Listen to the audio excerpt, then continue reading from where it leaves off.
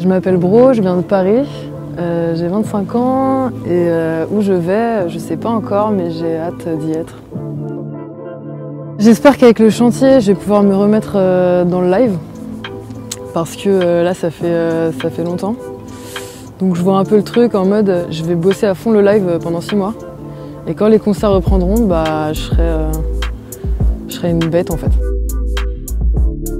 C'était immédiatement hyper adapté, ils ont, ils ont tout de suite capté où étaient nos, nos failles et, nos qualités.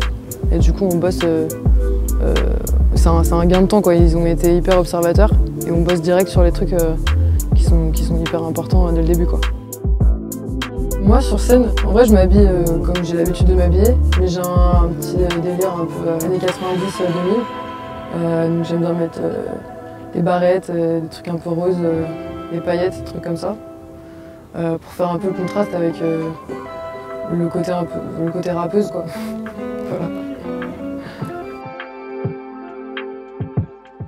Je crois que j'ai une préoccupation pour la nature, vraiment au sens euh, global euh, du terme, même la nature humaine en vrai.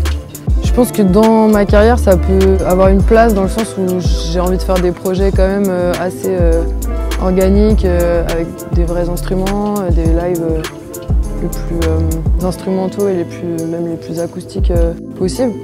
Donc, je crois pas que ça ait un rapport avec l'environnement, mais en même temps, j'ai l'impression que ça rentre un peu dans la lignée d'essayer de, revenir à des choses euh, un peu plus simples.